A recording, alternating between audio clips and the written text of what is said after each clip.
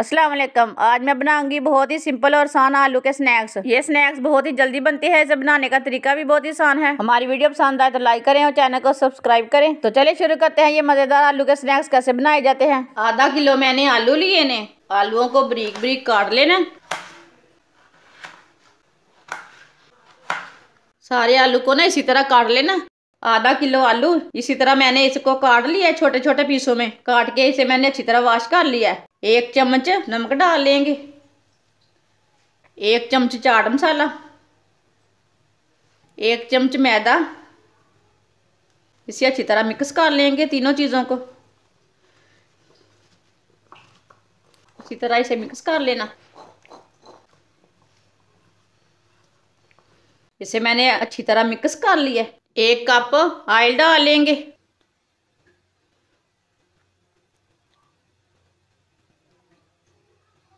Oil को एक minute तक गर्म कर लेंगे।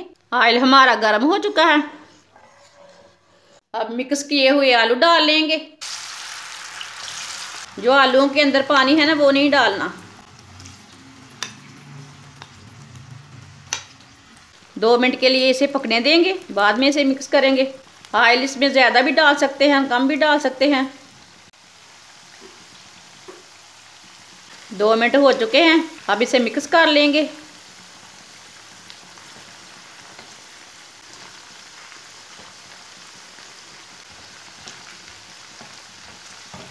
अब इसे ऐसे ही उल्टा उल्टा के पका लेना।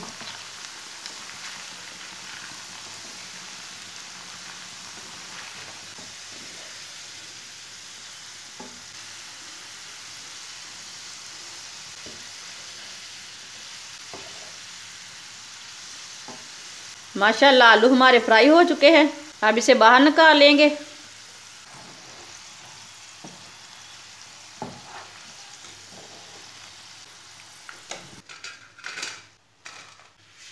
माशाल्लाह, ये देखें, आलू के स्नैक्स हमारे बहुत ही अच्छे बने हैं। हमारी वीडियो पसंद आए तो लाइक करें और चैनल को सब्सक्राइब करें।